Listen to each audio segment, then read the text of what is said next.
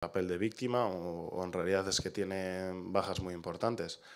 Eh, la realidad es la que es. Ahora mismo la Real durante todos los años, como he dicho antes, que yo he estado en primera, han sido mejores que nosotros, con un mismo entrenador. Saben a lo que juegan, saben que, que pueden hacernos mucho daño, mucho daño. Nosotros sabemos que les podemos hacer mucho daño. Y es un derby, es que da igual las bajas que tengas, da igual eh, que vengas en una mala racha o que nosotros vayamos en una buena. Eh, cada partido es un mundo, cada partido es algo diferente.